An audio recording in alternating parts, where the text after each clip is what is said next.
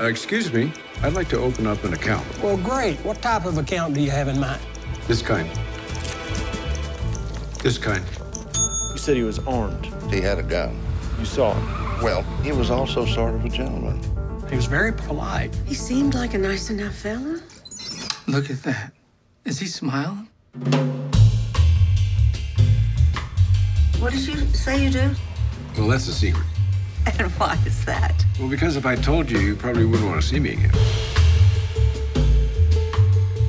Five states 93 robberies. in two years. You think you can catch him? Yeah, I won't lie. I'd love to slap the cuffs on him myself.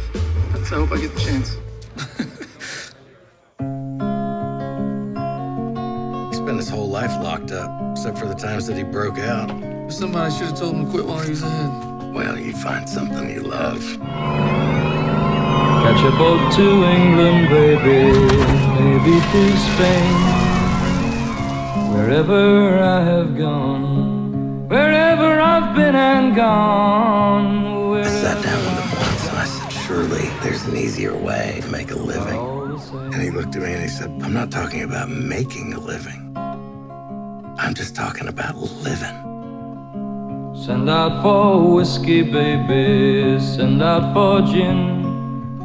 さらば愛しきアウトロー Me and room service, babe. Me and room service, well, we're living.